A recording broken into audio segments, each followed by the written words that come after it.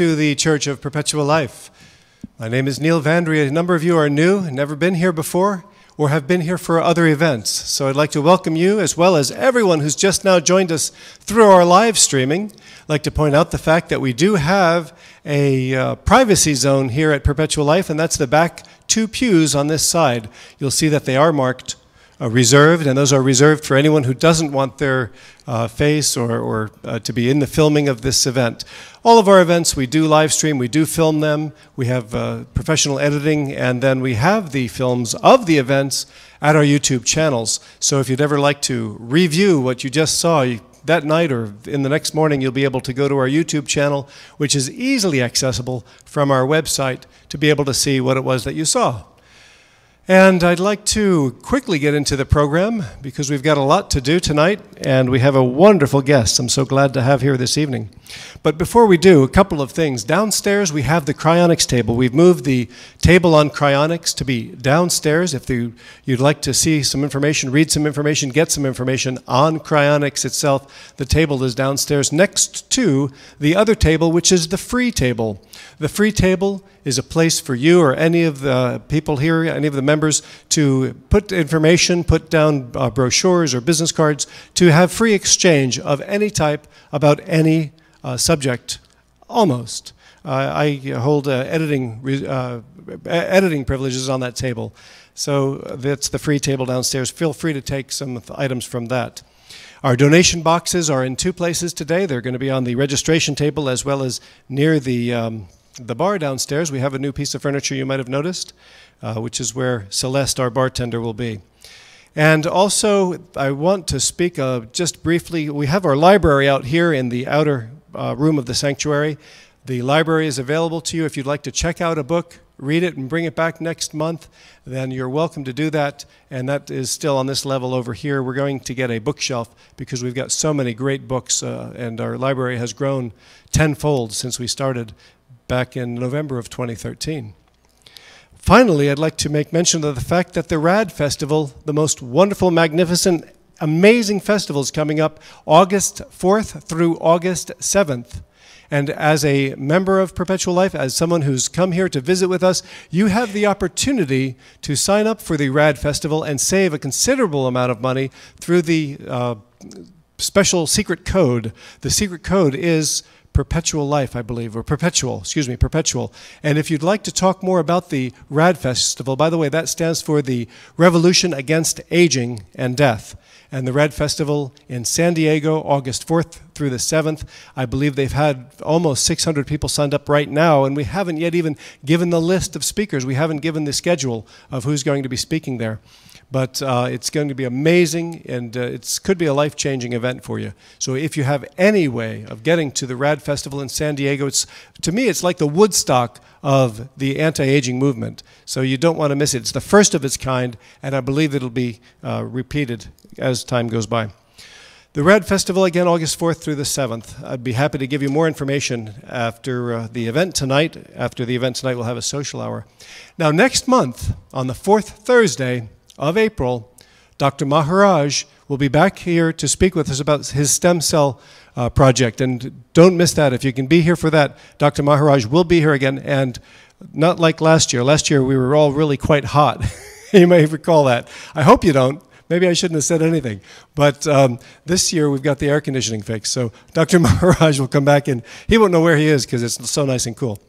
So that's what we're doing next month, and I'll give you more updates as we go along. If you, I don't have your email, please be sure that you email me so that we can stay in touch with you about all of our events.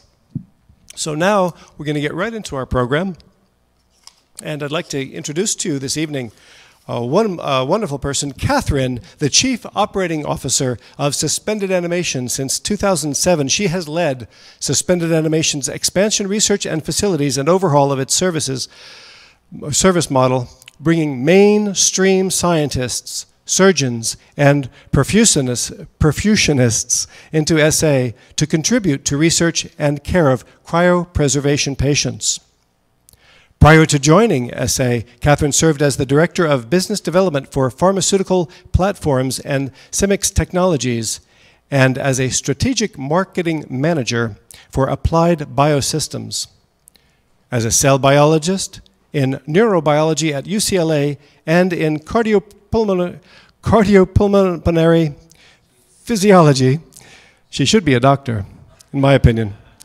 With the Lovelace Institutes, she pursued research interests in the molecular mechanisms of glutamate in the brain and thermoregulatory responses to hypoxia and ischemia.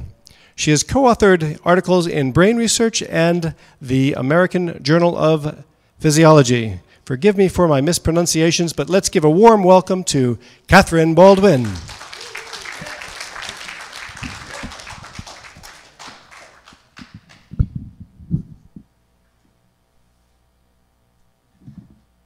Okay. Thank you. All right, me and Madonna got the whole microphone thing going on. Good evening. Thank you very much for coming out. Uh, my name is Catherine Baldwin. I am the Chief Operating Officer of a company called Suspended Animation. And um, contrary to uh, another introduction, I think what appeared on the website, Neal kind of gave me an upgrade in my education. Uh, I'm not a doctor. I don't play one on television. And uh, I am a scientist. And uh, by training, I'm a cell and molecular biologist, but I haven't been a bench scientist in decades because I chose to move to the applied side of science and uh, the business side of science. I was interested, bench science was very interesting, basic research is very rewarding, but I wanted to see good research and technologies transferred out of laboratories and into the hands of those who could actually benefit from that research, whether that was other research laboratories taking advantage of protocols and techniques that have been developed in one lab, or technologies that might uh, apply in the healthcare arena and benefit a much broader audience by improving lives or saving lives.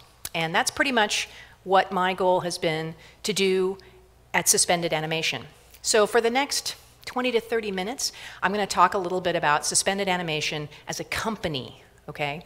Um, a little bit about what we do uh, as our primary mission, a little bit about our research and our development efforts, and um, I'm not going to talk about human cryopreservation or cryonics tonight because that's not what suspended animation does.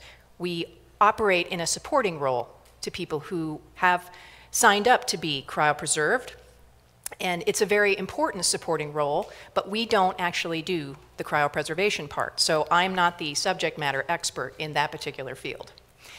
So um, after my talk, we'll have about 10, 15 minutes for questions and answers. I'd be happy to answer to the best of my ability any questions that you might have. And this evening, I also brought our mobile operating room, uh, which is based here in South Florida at our Boynton Beach facility. And it's parked outside. And for those people who are interested in seeing the vehicle that we use to handle cases here in South Florida and up to about a thousand mile radius, I'd be happy to give you a tour, maybe half a dozen of you at a time, depending on how many people are interested. Okay, so let's get started. so, suspended animation uh, was founded in 2002 with the idea that we're going to bring together science, technology, medicine, and bring them all together in the service of cryonics. Okay? Um, the primary mission of suspended animation is to take care of and recover human cryopreservation patients. These are donors who use the Uniform Anatomical Gift Act as well as contractual agreements with the two primary uh, cryonics organization in the US, which are the Cryonics Institute in Michigan and the Alcor Life Extension Foundation in Arizona. And Suspended Animation has contracts with both of these organizations to take care of patients. And basically, why do we need SA? Why do we do this? Well, because people oftentimes, when they are ill or near death, they are not able or not willing to relocate to where they're going to be cryopreserved and stored. They just can't go, or they want to be with their families, or they want to be close to home. And so suspended animation kind of serves as a paramedics ambulance service specifically for the recovery of these patients who are passing away at a great distance from where they are going to be cryopreserved and stored. So our primary mission is taking care of these patients. We have developed systems and networks uh, and protocols to do this. Uh, we're very good at it. We're the only company in the world that does it. The second part of our mission is in support of the first, and that is research and development to develop even better protocols, better technology, better equipment to do our job of taking care of these patients, these tissue donors, even better than we do now. And there's always room for improvement. Um, there's always new technologies, and so we evaluate mainstream technologies uh, to bring them in-house. Uh, we evaluate existing medical equipment to see if it applies to what we do, and if it does, if it can make how we treat our patients better, then we will test and adopt that technology if that's appropriate. We also do in-house development of new technology, new protocols. so in addition to doing recoveries, we also do research and development, and then we have a training component. So we train surgeons and perfusionists, nurses, doctors, uh, those medical professionals who can contribute to the care of our patients. We bring them here to Florida, to our training facility, and they usually spend one to two days with us and train on how to care for human cryopreservation patients. And there's a whole protocol that I'll talk about. Um, and if they're interested, we will train them, but we'll also evaluate them because not everybody is suited for doing what we do. It's an unusual job. Uh, sometimes we operate under less than ideal circumstances, and it can be tough. And so not everybody's cut out to do that kind of work. Uh, some surgeons need that big hospital operating theater and six assistants. That's not how we roll. We don't have that luxury.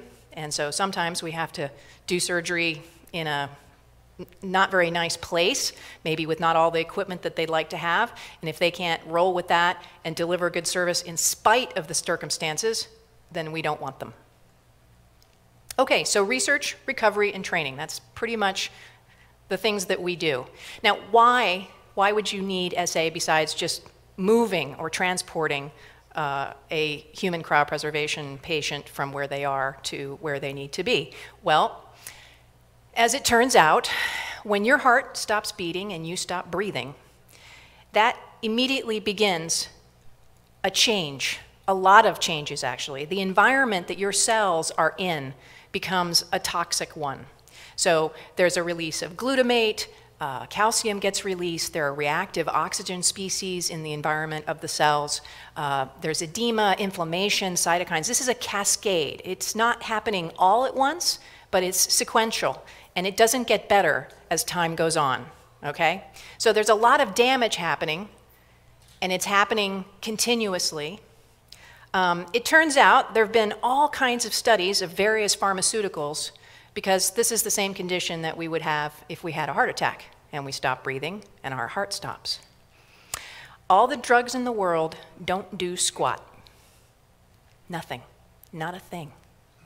But it turns out that if you can take somebody who suffered a heart attack, who stopped breathing, whose heart has stopped beating, and you can cool them even a few degrees, just a few degrees, a little bit of ice, you can stop, you might slow, and in some cases you can reverse all the things that were up there glutamate, calcium, inflammation, cytokines, all of these reactive oxygen species Everything in this cascade that begins the process of cell death can be stopped, slowed, or reversed with cooling. And that is the only thing that helps. Okay. So, mainstream medicine got interested in this. There was a very large study back in 2002. Now, let me just go back a second. The folks who've been working in human cryopreservation have known about this cooling effect being protective of cells and tissues for hmm, 35 years or so. Mainstream medicine caught on about 2002. Very large study in Australia, about 5,000 people suffering from cardiac arrest. And what they found was if these folks received mild therapeutic hypothermia, it helped protect their brains from brain damage. Okay. So after the publication of this study, everybody was very excited. There were a lot more studies that were initiated. Eventually, the uh, European International Liaison Committee of Resuscitation. They're kind of like the American Heart Association of Europe. They recommended that people who are suffering from out of hospital cardiac arrests be cooled as quickly as possible, preferably by emergency services responding to their crises. It took a few more years before the American Heart jumped on board, but they did, and in 2005 they changed their guidelines for resuscitation. They now recommend that EMS start cooling you immediately if you have cardiac arrest outside of a hospital.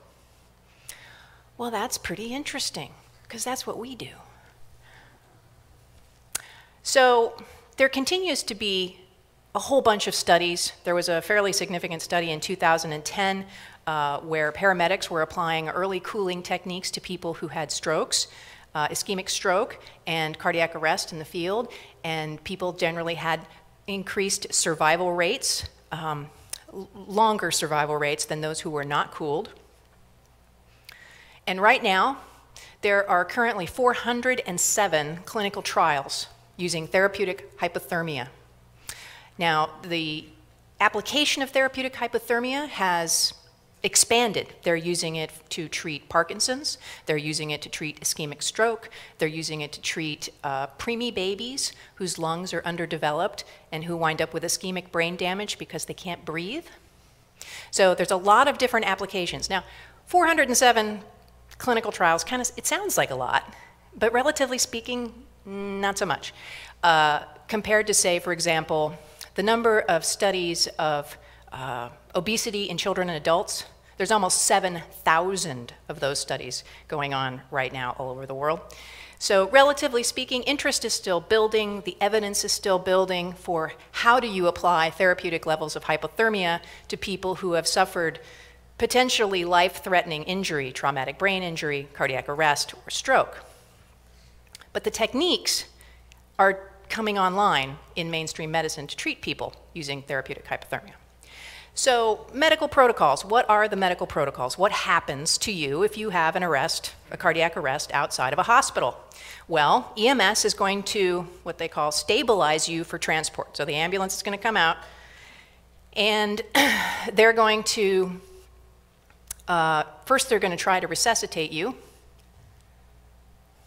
Yes, there they are in the ambulance. So, usually, their protocol is to give you cardiopulmonary resuscitation and try and bring you back, get your heart started, get your blood circulating again. Um, also, they're going to intubate you and ventilate you so you can breathe and get oxygen. Uh, and they're going to give you medications to try to support your blood pressure and reduce inflammation and make sure that your blood keeps circulating. The next thing they're going to do is try to induce hypothermia, even just a couple of degrees. So your normal body temperature is 37 centigrade. They're going to try and drop it in the field just by two to three degrees. And that's enough to provide neuroprotection, a little bit of brain help. Okay? So the way that they do that now is by giving you intravenous bags of saline. So the, the saline that they hook you up to is cold. They might also put cooling ice packs uh, or chemical ice packs around your uh, neck, and your head, okay? Once you get to the hospital, the emergency room, then depending on how they evaluate you in the ER, uh, they may send you directly to a catheter lab, and they will thread a catheter up through a large vessel, uh, look into your heart and see if they can see any blockages, which they could mechanically get rid of. If things are bad, if you have a valve problem or an aneurysm, they will send you straight into surgery and a cardiothoracic surgeon will open you up and start fixing whatever they can on your heart. And while they're doing that, they're going to connect you to something called a heart lung machine, a bypass machine. Bypass meaning this machine is going to take your blood and send it through the machine to be oxygenated. It'll also uh, run through a heat exchanger, so they will cool you using this bypass machine. And so essentially, you will bypass the heart, and the machine will circulate your blood and breathe for you while the surgeon is working on fixing whatever's wrong with your heart. And this is an image of kind of what that looks like.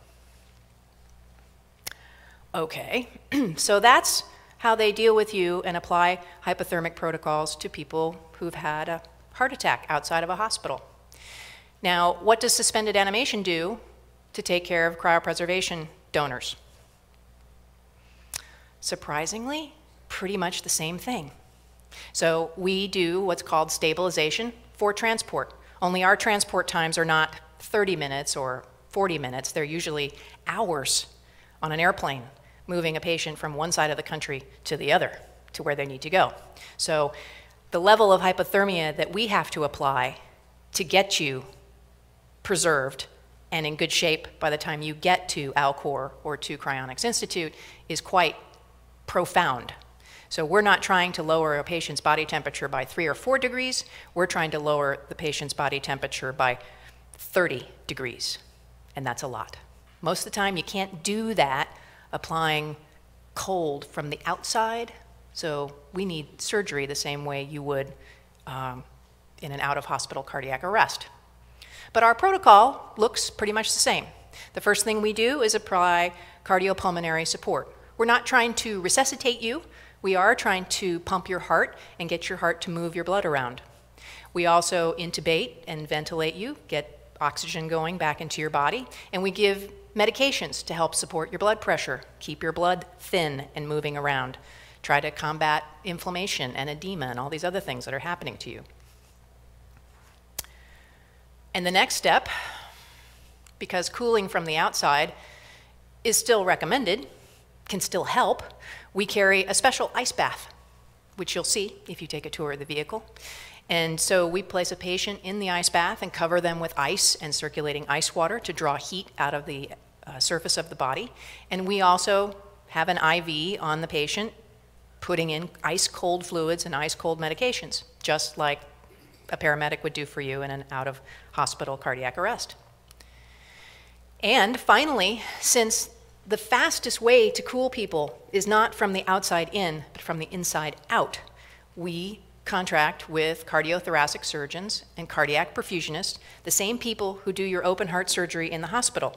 Come with us on our case. They work out of our vehicles or wherever we can set them up, and they put our patients human cryopreservation patients on bypass. They do same surgery, open up the chest, connect you to the bypass machine, and as your blood is circulating through the bypass machine, it's cooled. And eventually, in the case of cryopreservation patients, we replace the blood with ice cold organ preservation solution. So now your temperature is dropping at something along the lines of one degree every two to three minutes. Quick question Is all of your work done after the patient has passed?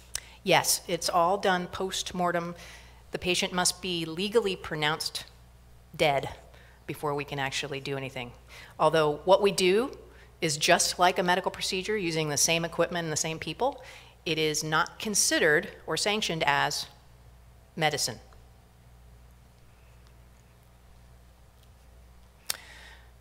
So we use the same personnel, emergency services personnel, paramedics. We have a stable of cardiothoracic surgeons and perfusionists to do our work. and essentially, the function of SA is to bring these personnel together along with the right equipment and the custom equipment that you have to have to do this, and the custom vehicles that you need to do this, and the facilities to maintain it all because we're on call 24 7, 365.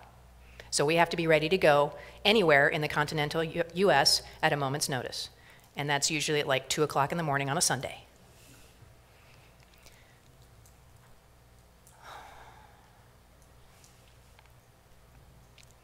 Okay, so a lot of my time, uh, besides maintaining readiness of the organization, is also spent recruiting people to work with us.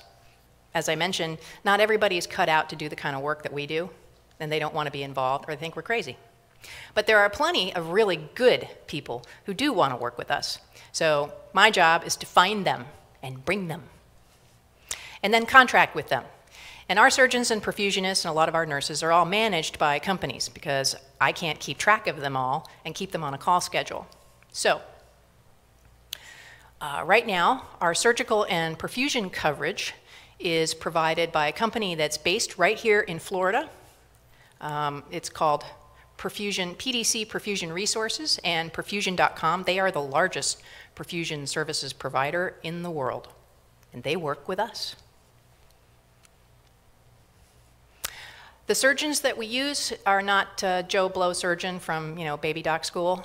These are top-notch people. Um, one of our surgeons did his research and training at Texas Heart Institute under Michael DeBakey. For those of you who don't know who Dr. DeBakey was, he was one of the inventors of the artificial heart. Um, and Dr. Stam has done probably, well, the number's probably going up. He's probably at around 7,000 cardiothoracic procedures. He practices in Colorado and flies to our cases. Uh, another one of our physicians who's actually based here in uh, Boca, uh, he was named one of U.S. News and World Report's top doctors in cardiovascular surgery. He has about 26,000 cardiothoracic procedures under his belt. And one of my all time favorite grumpy surgeons, as we called him, uh, is uh, Dr. Robert Wesley. He's an MD, PhD research cardiothoracic surgeon, and he has about 31,000 cardiac procedures under his belt. And these are the people who work on our patients. We have 12 cardiac perfusionists, these are no slouches either. Um, the average perfusionist has about 10 years of experience and about 5,000 cases at a minimum under their belt, perfusing adults, children, and transplant patients. Does everybody know what perfusion means? Not a clue. Sorry. Perfusion just means it, when you talk about your uh, blood perfusion. It just means the circulation of blood through your whole body. And a perfusionist is somebody who runs that bypass machine, the heart lung machine, that controls the bypass function of taking your blood out of your body, circulating it through the machine that circulates your blood and breathes through for you, and then puts the blood back into you while the surgeon is working on your heart or your lungs or your brain or some other part of you where you really can't have the heart beating. Okay, so that's perfusion. Perfusion is just the flow of blood through your body, either naturally or with a bypass machine. We also work with the Elite Health Group. Uh, this is a group that provides our hospice nurses and skilled nursing care. Uh, we like to be able to recommend uh, solid nursing care because it's hard to find. Uh, these folks are based in Southern California, but we have other nursing resources around the country. Um, and our training component is pretty key because it allows us to demonstrate for people how it is that we perform the procedures that we perform and train them because it's not exactly like the operating room. Uh, the protocol in some cases for treating a human cryopreservation patient is, a, is counterintuitive. It's not medicine. It's not the protocol that you would normally use. Cooling a patient 30 degrees is not what they typically do. So we bring them out to Florida, to our facility in Boynton Beach. Uh, we offer trainings quarterly. We wind up having them once or twice a year because a lot of people don't want to come out in July. Um, our training is pretty comprehensive. Uh, we generally do about half a day in the classroom teaching these folks the protocol. Then we do uh, hands-on training with our equipment. And then we all pile into the mobile operating room that I brought with me. And we come down to Miami to work at an animal facility where all of these medical professionals actually go through and do an entire case on a human-sized swine. So I can watch and see how they perform, and they can put it all together and practice with hands-on uh, practice with these animals. so this is a shot of uh, a couple of surgeons practicing uh, in our mobile operating room. So all of the medical professionals that we use have day jobs. They're all practicing. They're not staff members. They work in hospitals and clinics all over the United States. They are contracted to work with SA, and they are trained by SA in the protocols. Whoops, Let's go back a minute.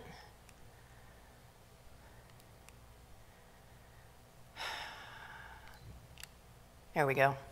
In 2008, which was about a year after I started recruiting, we had a couple of handful of people in California and Florida. And today we have medical professionals in 14 states. We've also upgraded all of our equipment so that it's standard and it's state of the art it's what these surgeons and perfusionists are accustomed to seeing when they walk into an operating theater.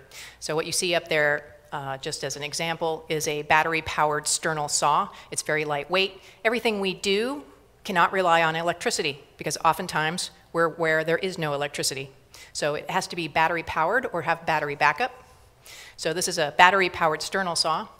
And then the, the uh, other photograph there that you see is actually of one of the cardiac bypass machines. So these are the things that you find in the hospital suites around here uh, and down in Miami in the heart centers. Um, this is the machine that will pump your blood, take it out of your body, cool it, put it back in, and also help us replace your blood with uh, organ preservation solution. So suspended animation maintains three air transportable kits because a lot of times the patient is someplace where we can't drive or they're in such a dire state that we're not going to be able to get there in time. So we have to fly. So we've taken all of our surgical gear and all of the medications and the perfusates and the bypass machines and the whole thing and packed it all into hard-sided Pelican cases and then we check all 600 pounds of it as luggage. And the airlines love it when I hand them my credit card. So we have three of those kits, one on each coast plus a backup. So if we need to fly someplace, it's ready to go. And it looks like that, mostly. Each case weighs about 50 pounds. Well, because I typically do anywhere from zero cases to eight cases a year. So having a pilot on standby, paying the maintenance on the plane, I have looked at it. Uh, I've also looked at fractional ownership, air ambulance services. Um, at some point, it might be price competitive if we have higher volume. Uh, so far, it's not. Uh, we have two vehicles supporting surgery, one of which I brought. Uh, this is the one that I brought, Pretty Sunset up in Boynton. This is the largest vehicle we have, and that's why we use it for training. It can accommodate about eight people at a time, although when we're doing surgery, it's only three people in, this, in the sterile field, and only if they're scrubbed in. This is a smaller vehicle. This is based on a Mercedes Sprinter van. You probably see those guys delivering stuff around. This one has been configured also to do surgery and perfusion. It's a lot easier to, to whip around Orange County and Los Angeles in one of these than the big beast that I brought. So basically, with all of this equipment and all these people and all these protocols, we have the ability to do stabilization, surgery, and perfusion on people who have signed up to do human cryopreservation, and we can take care of them nearly anywhere. And we have to do that now because this is not considered medical procedures, and I can't get anybody to do this in a hospital. So if I just, if you take, wind up in the emergency room and you say, well, I, I, I want you people to do the human cryopreservation stabilization protocol, they'll be like, hmm, nope, can't help you. And I'm sorry, there's somebody in our cardiac suite right now. And most of the time, in most major medical centers, unless they are a trauma center, they don't have a surgical team standing by that can do this. My guys don't just sit around waiting for somebody to call.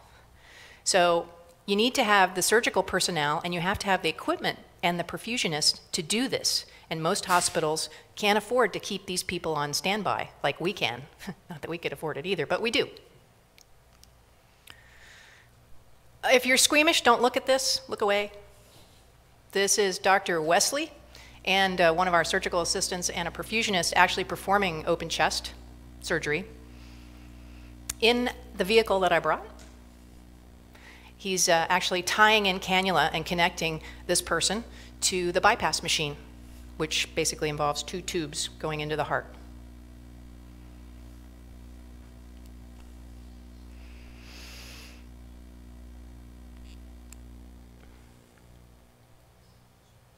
Okay, so we have facilities in California. Uh, back in 2013, we moved our headquarters to Southern California so that we could have uh, more space, more laboratory space, and a better opportunity for recruiting people who work in the medical device industry, industry and uh, engineers who are, um, how should we say, fluent in medical device development. I did not have much luck trying to recruit them here in Florida, and uh, so we ultimately decided that it'd be a better move to take our R&D operations to Southern California. We still have our facility, we have a facility here, a new facility in South Florida. It's located in Boynton Beach, and we use that facility just for training and for East Coast response. so this is the California facility, if I can get it to go. Administration and R&D. There it is. It's located in Rancho Santa Margarita, which is uh, about an hour north of San Diego and about an hour south of Los Angeles. And there's our shiny new labs.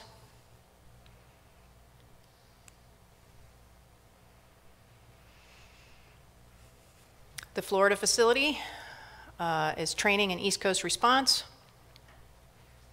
And this is the training area for a lecture and demonstration. And then we have the large vehicles and the kits stored. So the research side of things, that's all based in Southern California. And the research that we do, again, is really designed to support taking care of human cryopreservation patients and to the extent that we can apply it to a broader community in medicine, we do. So I'll talk about just two of the projects. We have a lot of different projects, but these are the two main ones that we're working on right now. the primary one that I have all my engineers working on right now is portable liquid ventilation. So right now, to cool somebody from the inside out, the fastest, most effective way, we have to have surgeons and perfusionists. We have to cut people open. That means we have to have equipment, we have to have facilities, we have to have people who know what they're doing. What if we didn't have to have all of that? Or what if we didn't need all of that on site right away? What if there were a way to cool somebody without cutting them open? That would be useful for people who have out of hospital cardiac arrest and need cooling by emergency medical personnel. That would also be helpful to our patients, for human cryopreservation patients, cooling them rapidly without needing a surgeon right away. So portable liquid ventilation basically uses the lungs as heat exchangers. Your lungs are highly vascularized. All of the blood in your body passes through your lungs. 70 square feet of vascularized tissue.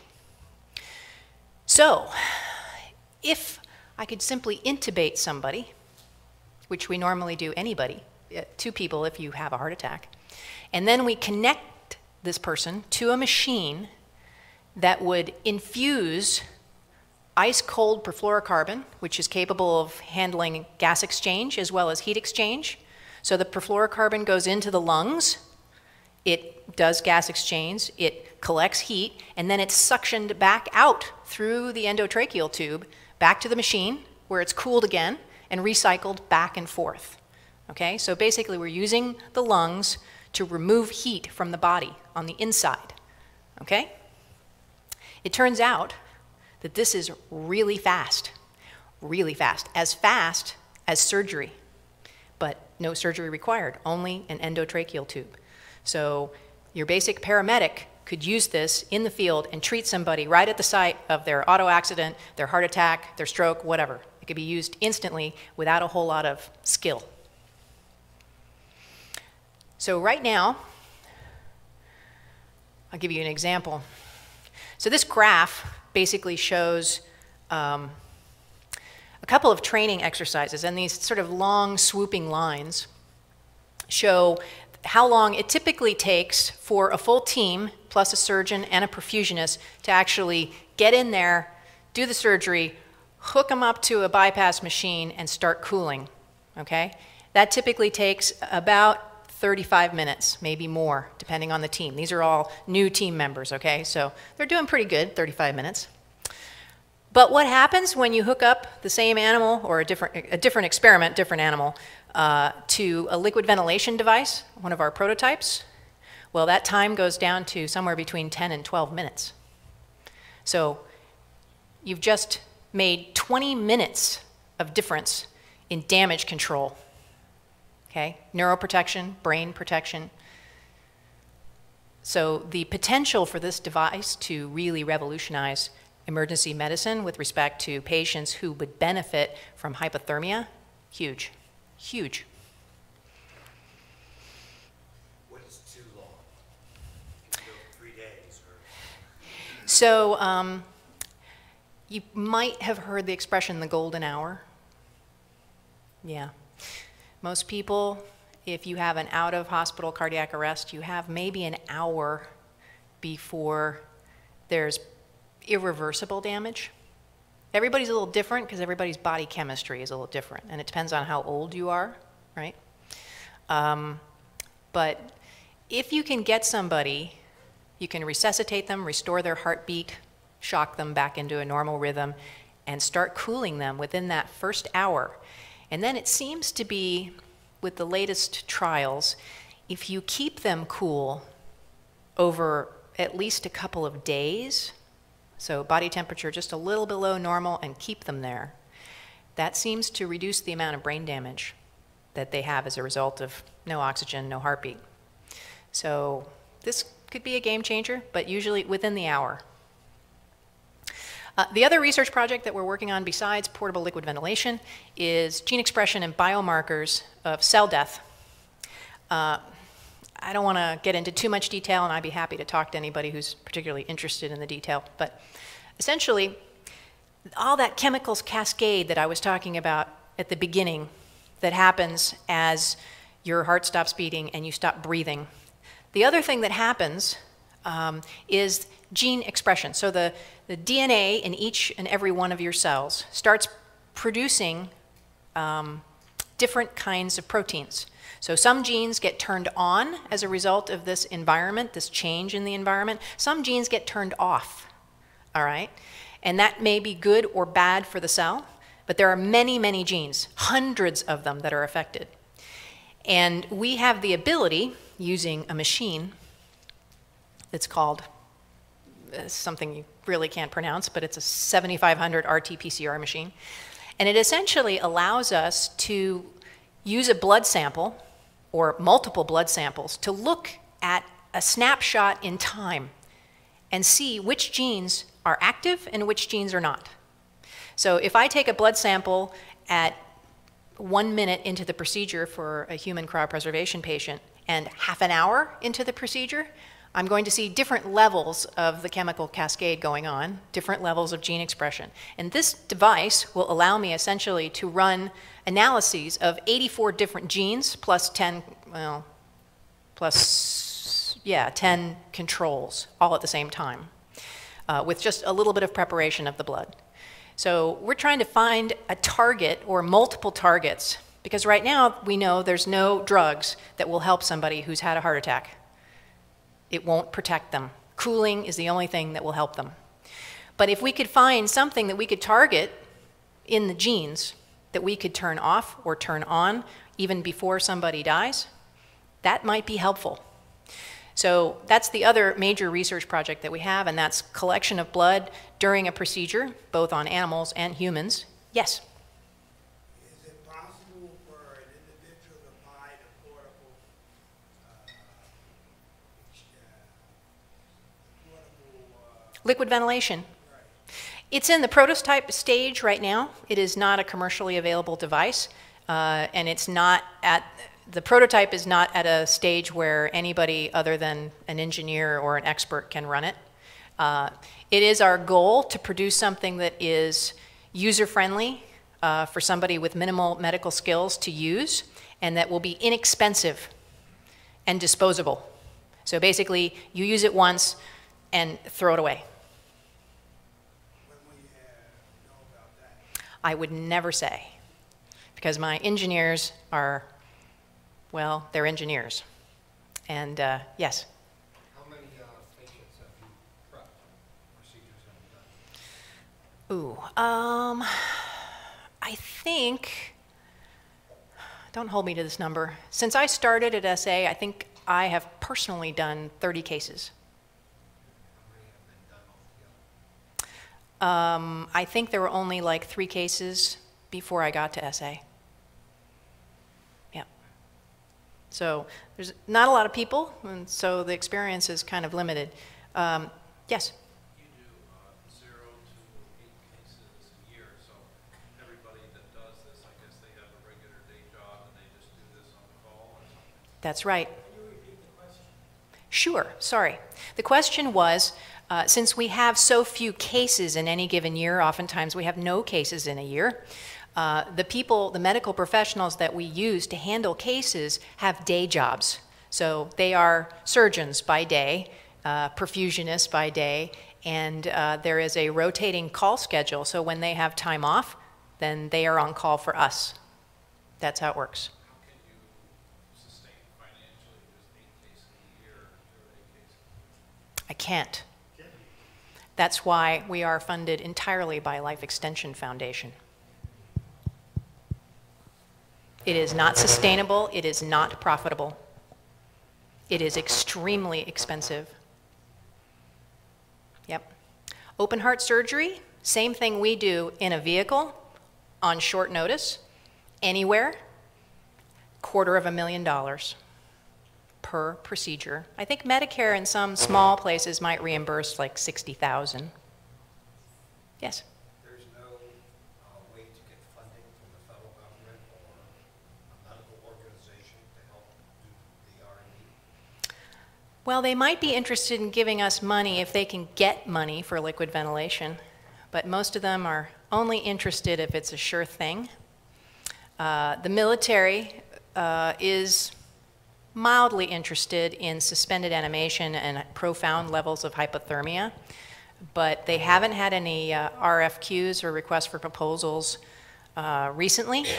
And since our focus is taking care of patients, that's what we do. Uh, when you do, do these service, um,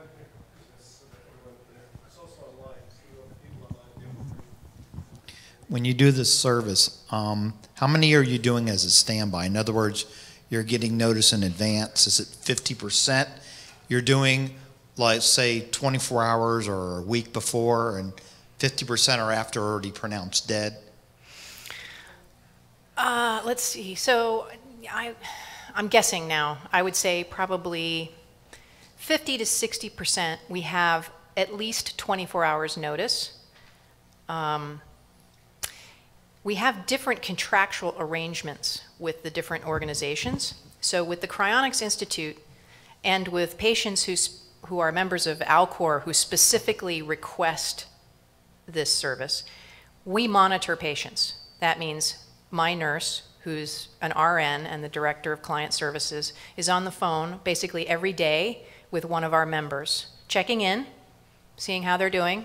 If they're elderly or they're suffering from some sort of ailment, if they're terminal, then she's checking on them regularly. So we have some idea of where they're at on the continuum of death versus life.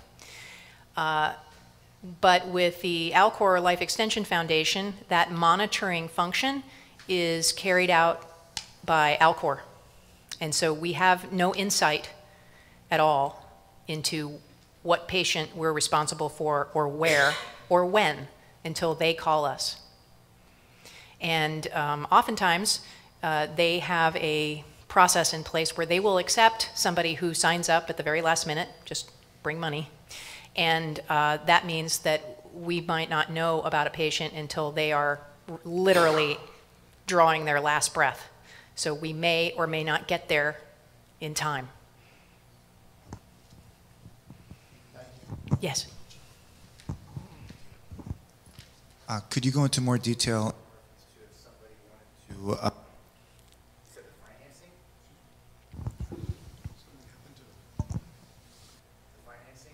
do they have to pay up front, or what is the payment for something like that? That depends on the organization that you choose for cryopreservation.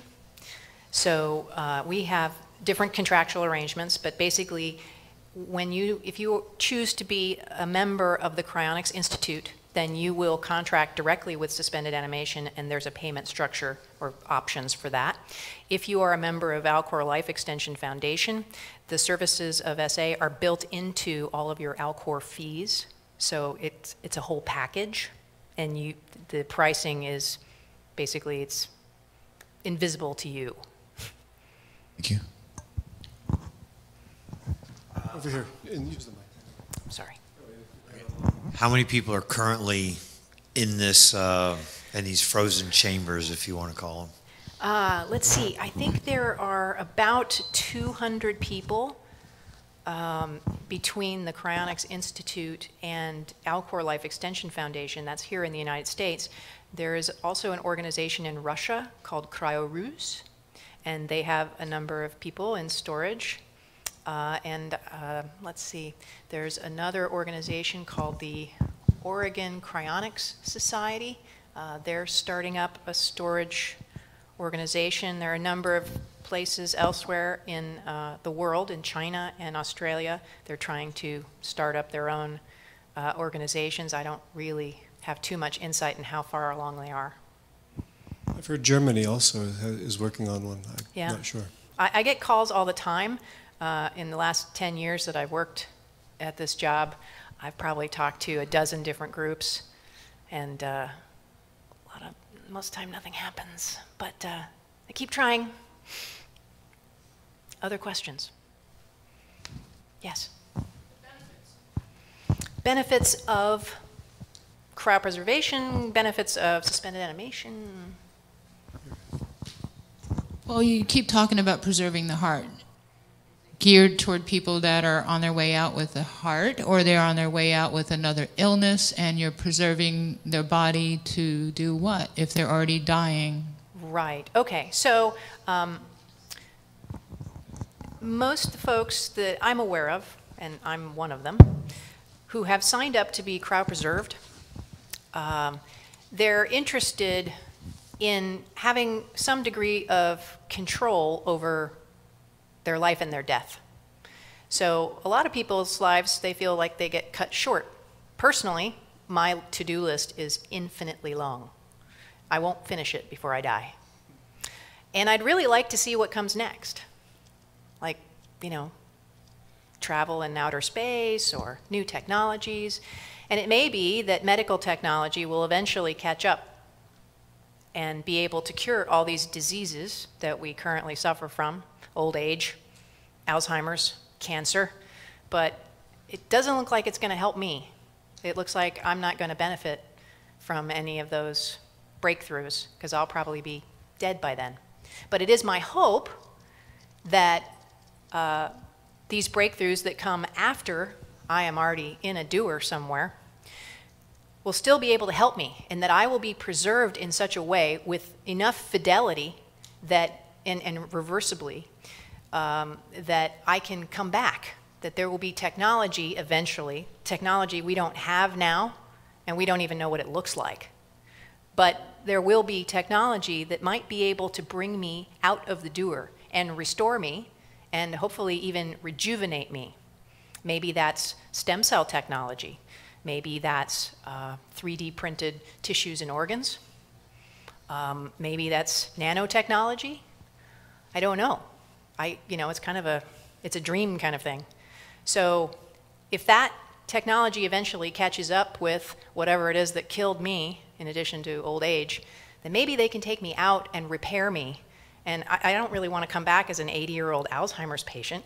I'd kind of like to come back something closer to this. Or maybe something better. I'd like an upgrade. Um, so that's kind of, that's the hope. Uh, it- human cryopreservation is, if not the grandest, one of the most incredible human experiments ever. When you sign up, you're signing up for a massive clinical trial. And the ones that go in the ground are the control group. Okay? Right? I'm just hopeful. I'm an optimist. You know, some people are not optimists and have no interest, and that's all right. More room for me. I have a question here, over here with Bob. Yeah, sure. I know one of the problems with preservation has been the crystallization of the cells, the damage to the cells. Yes. What exactly do you infuse when you remove the blood? Right. So here's a distinction um, between what suspended animation does and what uh, a cry- cryonics storage provider provides. So suspended animation is really interested in extending that window of time that your brain and the rest of the tissues in your body are viable. That means if we could fix all the other stuff that's wrong, the cells would tick over and keep working. All right? So you'd be good to go if we could just fix all that other stuff. And so that is organ preservation solution. It's essentially the same kinds of solutions that they use for kidney transplantation. Same stuff, okay? It only operates in the temperature zone above freezing. You cannot be frozen with organ preservation solution in you because if you are, you will turn into a popsicle. Okay? What happens is when the solution freezes, it creates crystals, ice crystals. And these little crystals, they're like knives and they slice through the cells and they cause the, the freezing causes the cells to swell. Okay? So there's mechanical damage, chemical damage, and the slicey thing. That's not good. So you don't want to be frozen you want to be cryopreserved. You want to be vitrified. And that happens after we deliver to one of the cryonics organizations. They will perfuse you with a solution that's called a vitrification solution or a cryoprotectant. And this solution is very different. It's, people use the word antifreeze. It's not antifreeze, but it does prevent ice formation. It does prevent that swelling, that little sharp business from going on in the cells. It protects the cells and allows the cells to be reversibly stored at liquid nitrogen temperature. So, if we could fix all the other stuff, the cryoprotection part is reversible. Yeah? Yeah. So, how you doing? My name's Greg Calabria. Um, can you talk about what the cost is? So I have three questions. The cost, uh, who famous is doing this, and uh, I would think that we'd be probably closer to be doing a brain transplant more successful than preserving the whole body because we are our brain. Okay. Um, so I can't speak too much about cost because, again, it, it's dependent. What you ultimately pay depends on several things. One, depends on which organization you sign up with. And they have very different pricing structures. They do. Yeah.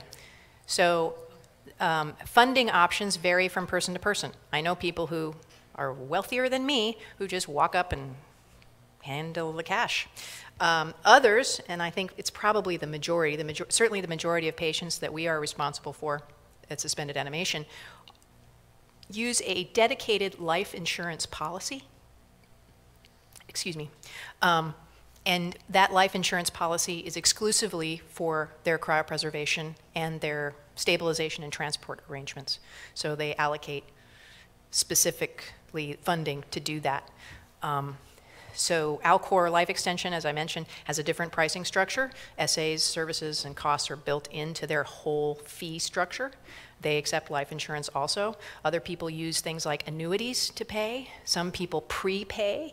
Some people kind of pay as they go. That's kind of risky, but it's available. Um, so the funding options are different. Uh, in terms of uh, are we farther along? Why, why not just do a brain transplant? Ooh, there's, that's a big, that's like a, that's a rabbit hole I could go down some evening. But um, basically, you can, you can sort of do two paths. You can try and fix what you have, or sort of do substitution and replacement. And that's one philosophy, and that's kind of the cryopreservation philosophy, right? We know that what we have here kind of works, and there might be something better in the future. So if we save what we got, maybe part of my memory is in my heel. So I like my heel, I'm going to take it with me. Uh, probably most of my memories, and the way we understand memory, is contained at, at some level, either in the physical or chemical structure of my brain, but some of it may also be in my spinal cord. So maybe I need that too.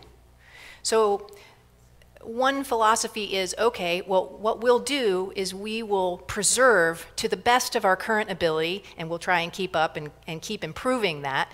So we preserve everything we have inta- as intact as possible, and then hopefully at some point in the future we have a, we have a way to fix it, upgrade it, whatever. The another path that you can take, and, and uh, these are only two, there are still more, uh, things like uploading and um, using computers to essentially preserve yourself. Um, the other one would be okay, how about replacement? So you give me a new heart, you give me a new liver, you give me a new kidney. Why can't you give me a new brain? Right? Yeah, or just swap out. So at this point, our understanding of our physiology and how our brains work is rather incomplete. So that's the biggest barrier. Uh, there are two labs that are working on doing brain transplant, body transplants. So it's, it's not as crazy as it sounds. They are trying.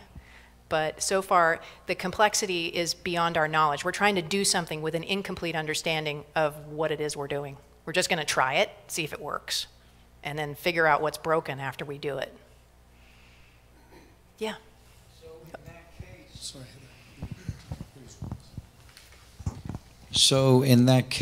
um, who has been in this condition for the longest, and have they shown any signs of deterioration, or is that also like a gamble due to the equipment hopefully being upgraded in the future?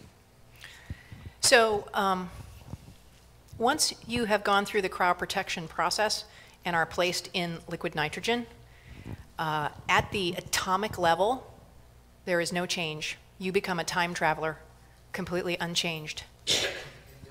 Indefinitely. So long as you remain at liquid nitrogen temperature, you're a time traveler.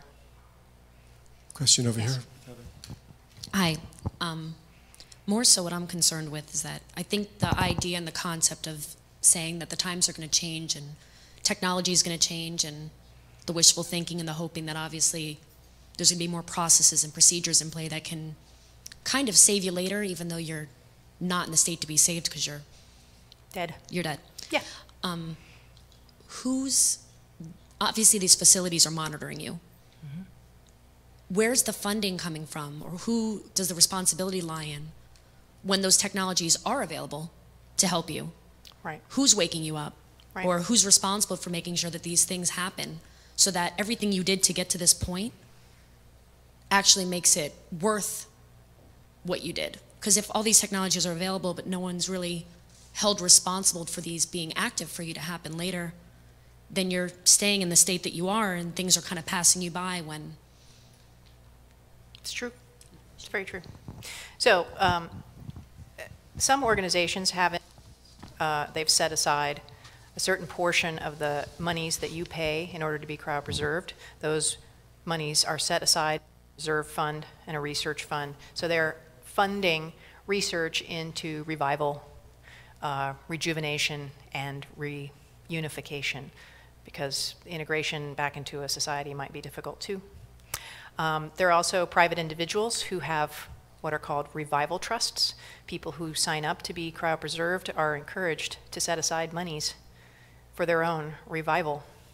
Um, and there are some very big revival trusts, both private and public.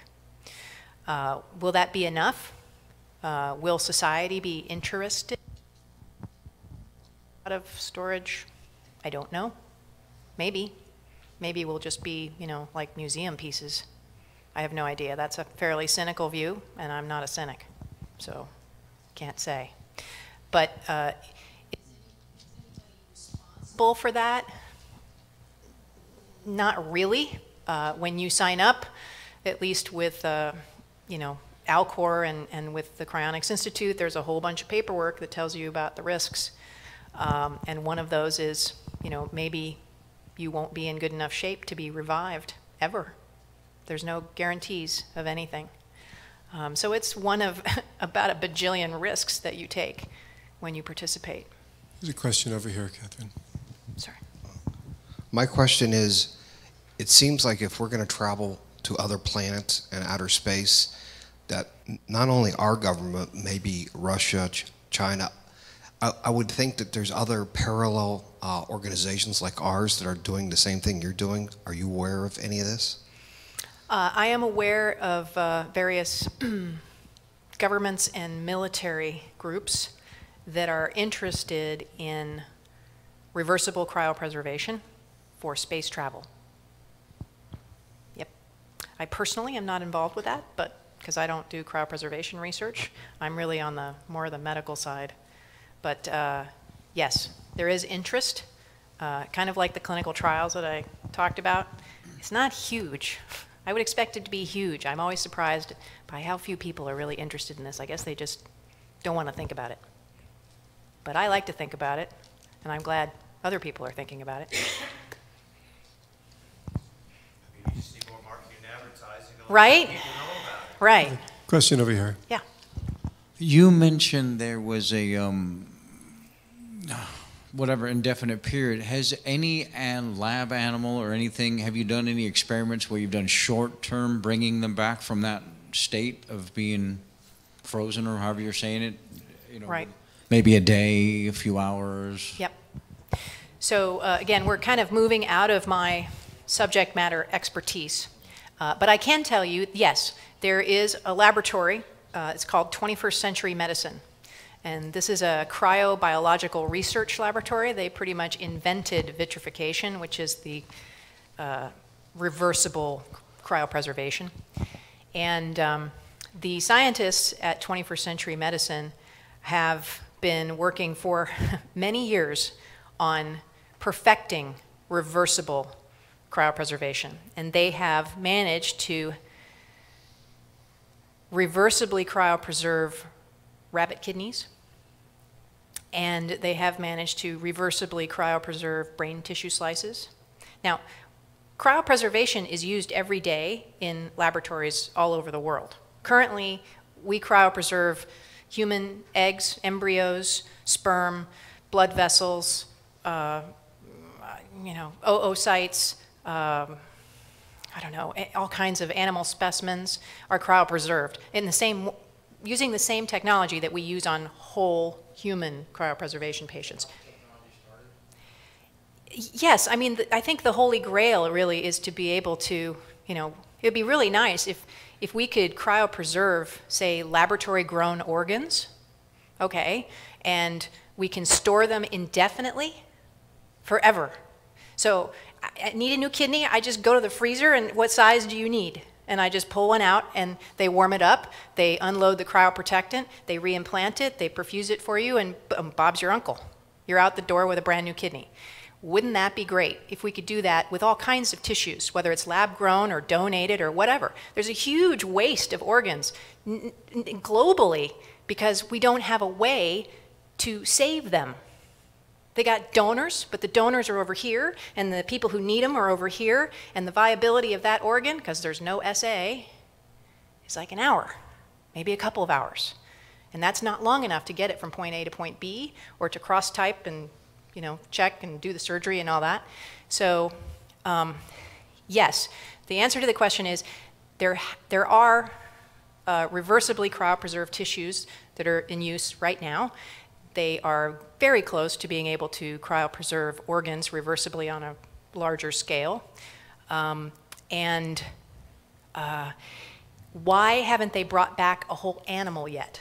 Well, there are rules that govern that. There are all kinds of committees that govern how you do animal research. And of course, animal research is eh, controversial, right? And we're animals, and we're made of all different kinds of tissues, thousands of different tissue types. And each tissue type is unique, and it responds a little bit differently to cryoprotection and cryopreservation. And so the kinds of perfusion and solutions that you might use to preserve a kidney really, really well don't work so well on the heart and don't work at all on the brain. So when you try and pile it all together, uh, it comes out less than ideal. And they're not going to try and bring back an animal until you make sure that that animal is going to survive and not going to suffer. Okay? So until you can look at little parts and make sure that all the parts are perfectly, immaculately preserved in a reversible way, the whole animal is not going to be coming back, right? It really is, it really is a lot harder than the, the, the average person looks at because of all the different tissues that are there. That's right. I have a question from Larry over here. Well, you might have answered some of it, but I was going to ask what parallel discoveries are coming up from this. Just like when NASA did the space flights, they had came out with this with the pen that could write underwater, and just so many different than the watch. And I'm wondering what other uh, avenues of science are connected with you that are gleaning benefit from this. And, and also just the idea that how much Leonardo da Vinci and Michelangelo would have loved to have been able to see the human body from the perspective that you do now, and how much development came about because a few people broke the rules and worked with bodies when they weren't supposed to. So sometimes we need to be innovative. Push it a little bit. Yeah. Um, Actually, in- during a lot of, some of my talks, I show a slide where there are a couple of guys in uh, like loincloths just literally flailing away at some guy who's lying on the ground. This used to be how you resuscitated people. You just beat the crap out of them and hope that they wake up. And sometimes they do. And then later on, of course, CPR came around and you see people pumping on each other's chests and doing mouth to mouth. And that was considered like crazy 50, 60 years ago. You don't do that. But now it's like everybody does it. You got an AED on every wall, and the guy who used to be dead, absolutely dead, is not dead, not by a long shot. So now you're not dead until you're warm and dead, right? And we're here to cool you. Um, so parallel technologies. Um, Yes, I think most of the efforts right now with respect to cryopreservation are going into trying to create alternatives to animal testing. So you have uh, ways of testing on brain tissue, on uh, dermal tissue. You have these cassettes that are cryopreserved. You just put them in a little bin you leave them in the freezer. And if you want to test a cosmetic, uh, uh, you know, for liver or whatever, you just take out a cassette and you test it on the cassette. You don't have to go like kill an animal for their brain right? Same thing with lab grown tissues. Well, there's all these really new, interesting 3D printing techniques that you can use to grow an ear or grow a larynx or whatever, but it's the same unless it's a cartilaginous tissue. If it actually has structure like a heart or a kidney, we have the same problem. It, you can't, it can't survive indefinitely in the laboratory. So if we could cryopreserve it and throw it in the liquid nitrogen freezer, well, then it wouldn't be an issue, right? You could just ship them anywhere on liquid nitrogen and store them anywhere until you need them. Um, so, and then with respect to suspended animation, I talked about liquid ventilation. It's really our hope, you know, my dream. I don't know if I'll live long enough to realize my dream, but my dream is that one of those machines, if not the one from SA, maybe it's from another company that, you know, finishes the job or something, a liquid ventilation device that's, you know, maybe the size of a small cooler on wheels is hanging on a wall next to the AED in every building, every airport. It's on every EMS truck. And so when somebody has a heart attack or is in an accident or something and could benefit from cooling, if we only have somebody who knows how to stick a tube down their throat and connect them to that machine, that they have another chance to live without brain damage. That's my dream. And that's a parallel technology. It's not there yet. It takes a tremendous amount of time, huge amounts of money to develop a medical device. But we keep going. We keep trying. We keep patents out there. So, you know, if we can't do it, I'll see if I can find somebody else to do it. Did you see the video on the internet of the monkey that got electrocuted in India? And another monkey came and worked on it for about 15 minutes till it came back to life. And people are enthralled by that because it gives you the idea how come people don't care enough about each other the same way that monkeys do. Right? Yeah, got to take care of each other. I have a question over here for you, Catherine. Yes. Why do we have to wait until we die? Oh, I wish I knew the answer to that question. Because if somebody wants to stop the dying process now, to stop it in its path, can they be preserved and wait for a cure in the future? And my other question is about the soul. So, the body dies, but what's really coming back when you do come back? So the second question I will answer, but I'll let you go to the first one. I'm way out of my depth. Okay.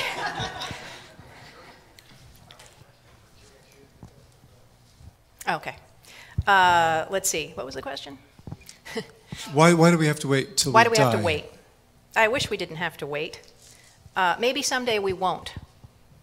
Maybe someday we won't. Right now, there are eight transplant centers that I'm aware of, there may be others, uh, that currently allow a person who is an organ donor and meets certain what they call extended criteria. Now, this is a slippery slope, it's pretty controversial. I'm just providing information here, I'm not saying it's right or wrong.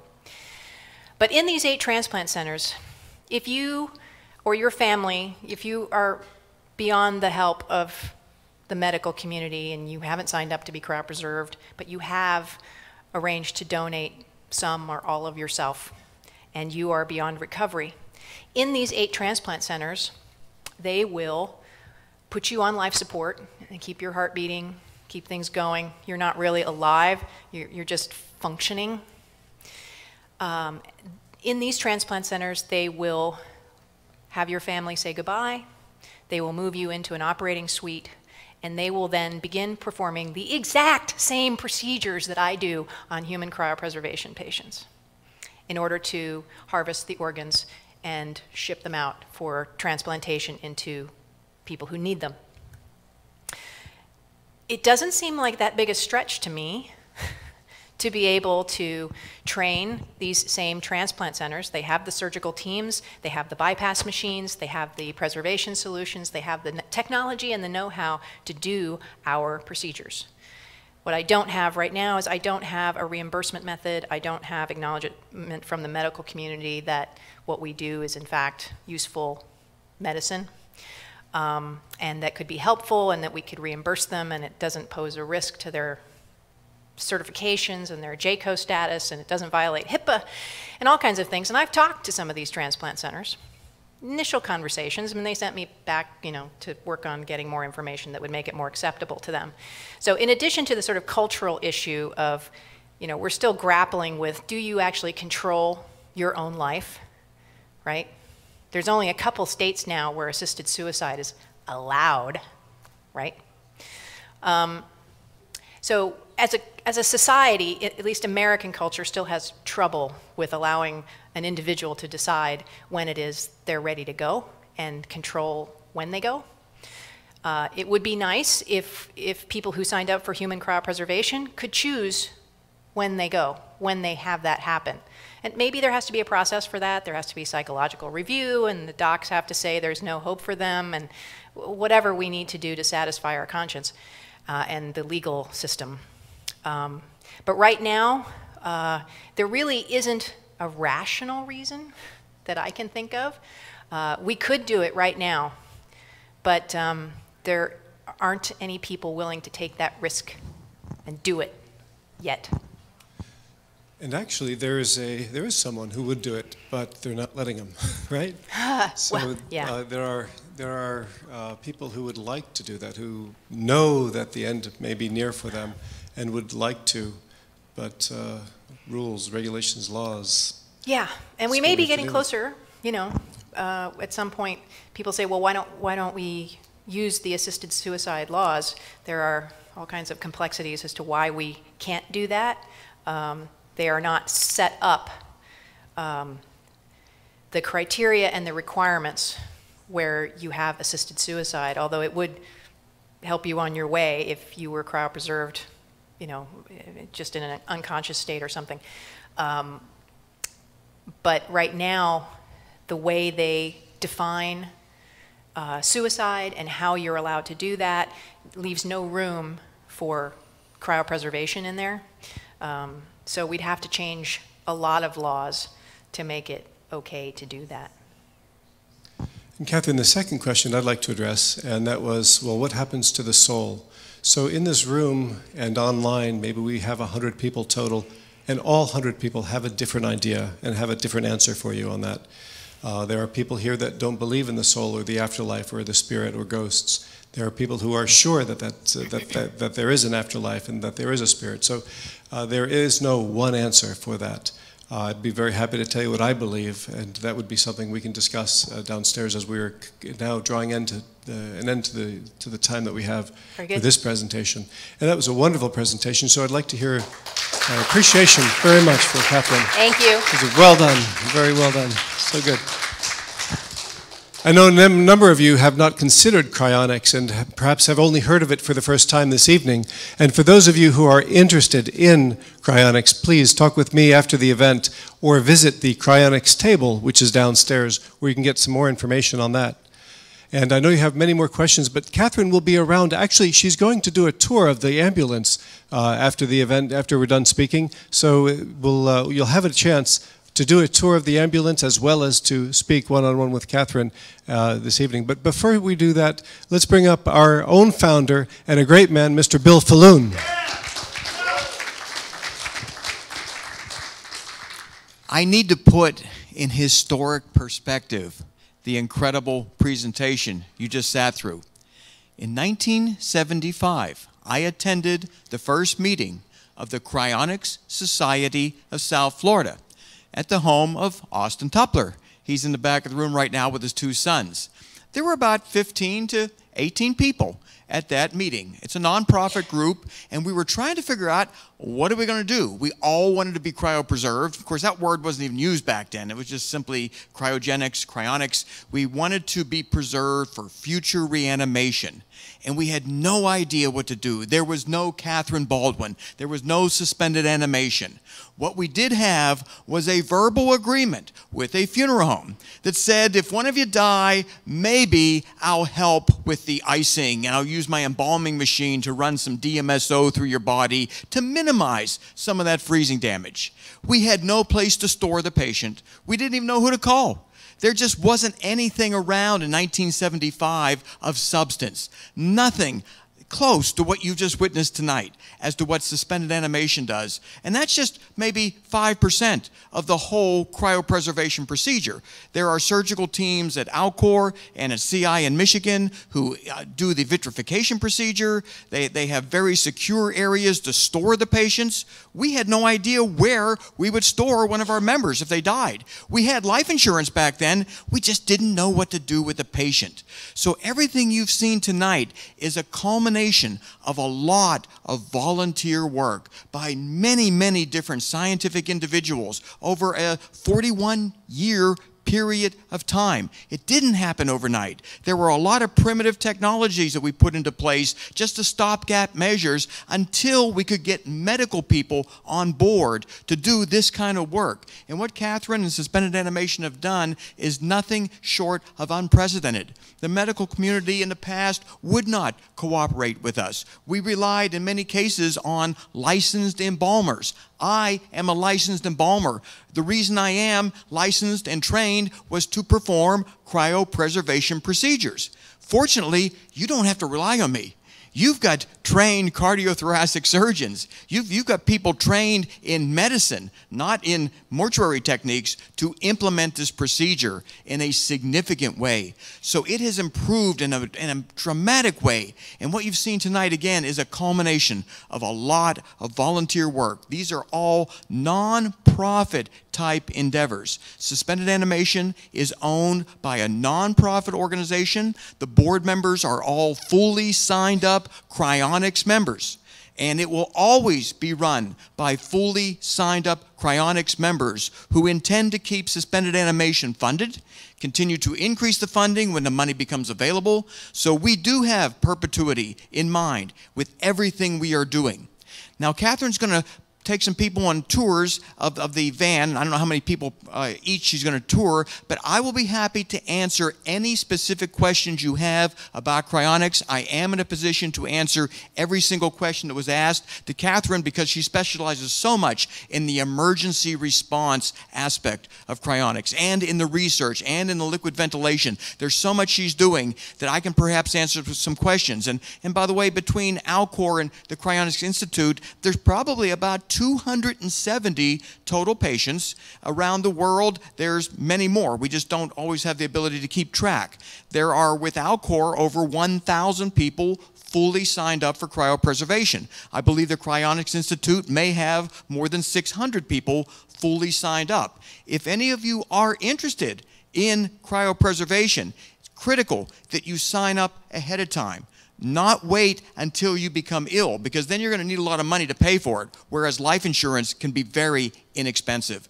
But there's also an issue of you fall ill you may not be in a position to implement the paperwork the legal procedures all everything that has to be done trying to do that at the last minute almost guarantees there's going to be a delay. And as you just heard delays are not good news. So for those who are interested, you just log on to Alcor, log on to the Cryonics Institute, just type cryonics into Google. You'll find these non-profit organizations. They're all non-profits, by the way. Cryonics is not a money-making venture. There are trust funds set aside to keep these patients cryopreserved in perpetuity, and there are revival trusts designed to pay for research and reanimation expenses. So there's a lot of thought being put into the perpetual nature of everything we're doing. So I'll be happy to answer questions, and I think at the same time, Catherine should show some people the, uh, the, the cryo um, mobile operating unit uh, because it is really a spectacular piece of technology. Everything had to be miniaturized. Everything had to be thought out ahead of time as to what you do with a wide range of different cases. Okay, so Catherine's going to go downstairs for people that would like to do a tour of the. Yeah, there's only what six people per tour.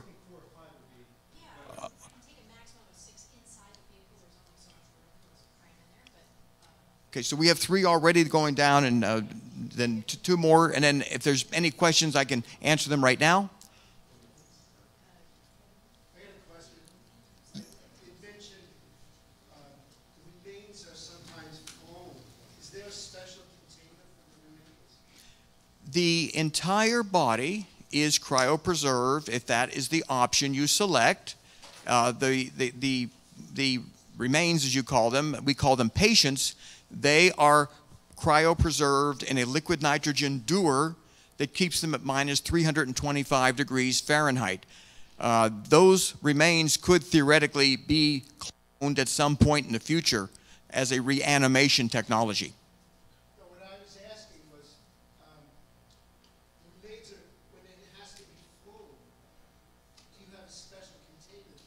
They do have containers to put them in that are special to keep them at a cool temperature. In some cases, they're able to keep liquid circulating. I don't know the answer to that question as well as I'd like to because they continue to upgrade their transport capability.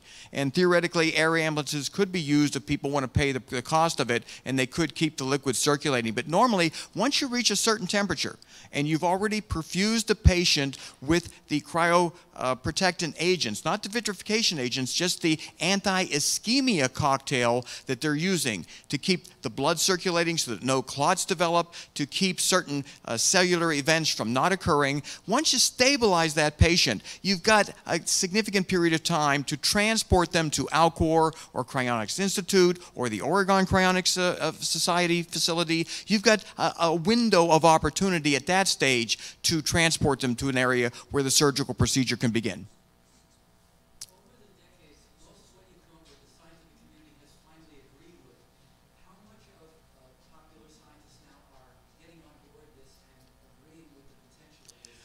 Well, at this stage, um, scientific people are more interested than at any other time in the past. There is a document that about 70 mainstream scientists logged on to MDs, PhDs, some of the greatest experts in the world, such as Marvin Minsky.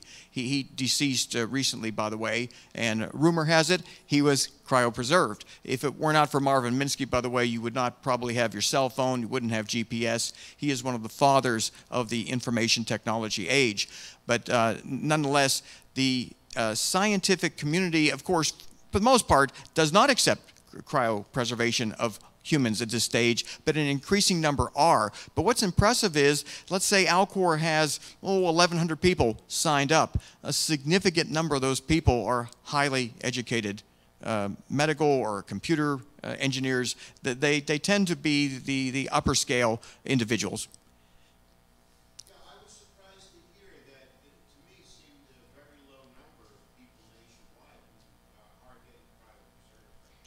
It is a remarkable low number. The first person was cryopreserved in January 1967. That was uh, Professor uh, James Bedford. Uh, he made his own arrangements to be cryopreserved. He set up his own trust fund, and he was cryopreserved. Very poorly, but nonetheless cryopreserved. His trust fund was not adequately protected. Relatives raided, raided it, stole all the money. Alcor maintains Dr. Bedford in a state of cryopreservation. Alcor's policy, and I believe the Cryonics Institute's policy, is we never let a patient thaw. We'll, we'll get donations. We have money put aside for emergencies. No patient will ever thaw. And when Dr. Bedford was faced with being cremated, Alcor stepped forward and they took possession of his remains. He is in a state of cryopreservation and will remain in a state of cryopreservation courtesy of the charitable work that Alcor has done. Yes.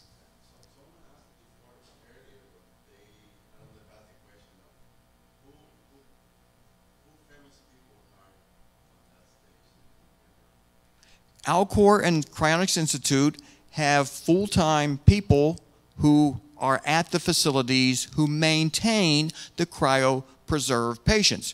Cryonics Institute relies on very dedicated volunteer labor for the most part. Alcor has a professional staff of paid individuals, but there are people uh, on Alcor's premises 24 hours a day.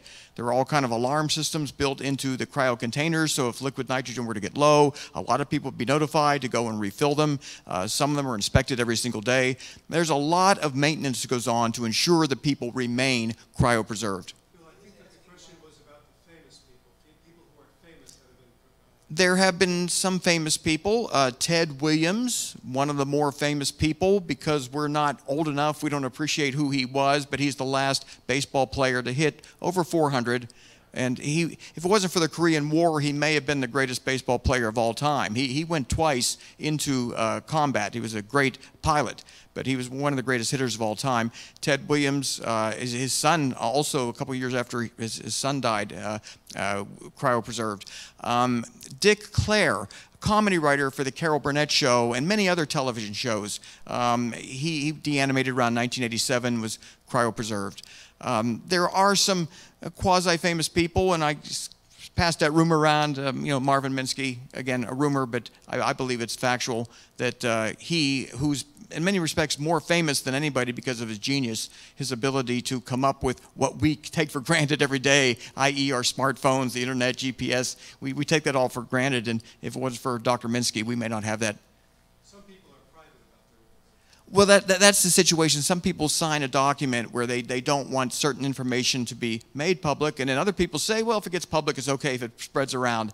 Uh, more and more people, though, are coming out and being open about it because this is a scientific experiment, as Catherine eloquently stated.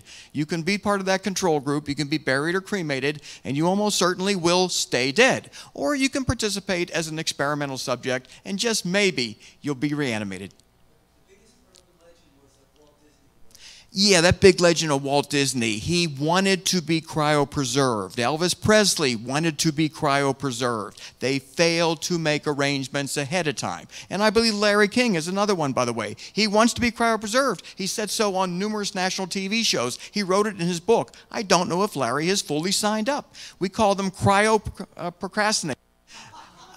Uh, it's people who really want this, but they just don't want to go through with all the paperwork. And if you don't do that, it's a, it is a problem.